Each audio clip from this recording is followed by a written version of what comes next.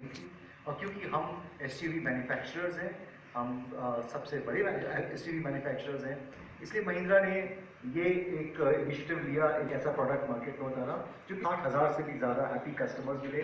लोगों ने इस गाड़ी को बहुत सहारा पसंद किया लाइक किया और ये अपनी श्रेणी की एक अलग कैटेगरी क्रिएट करने में सफल हुई And uh, what did customer say? The customer said that it has got a very nice, stylish SUV look.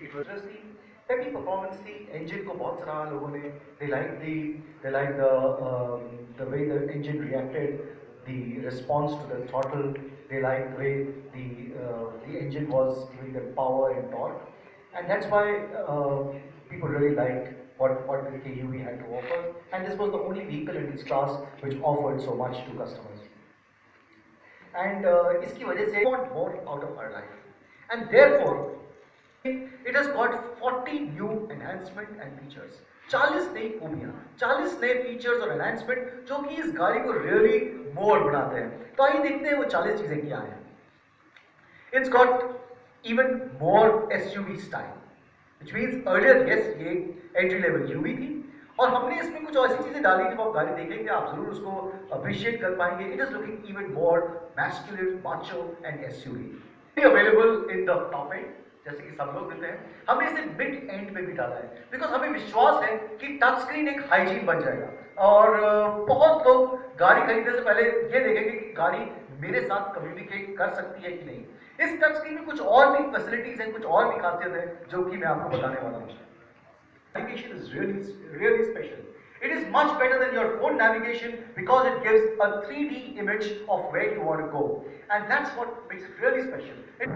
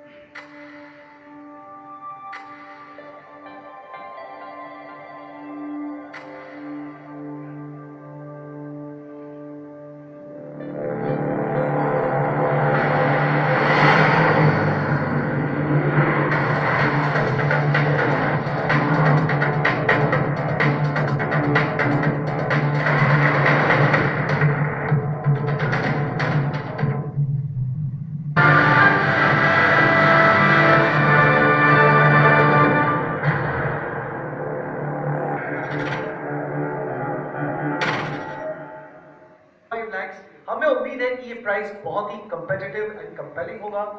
Existing के से एग्जिस्टिंग मॉडल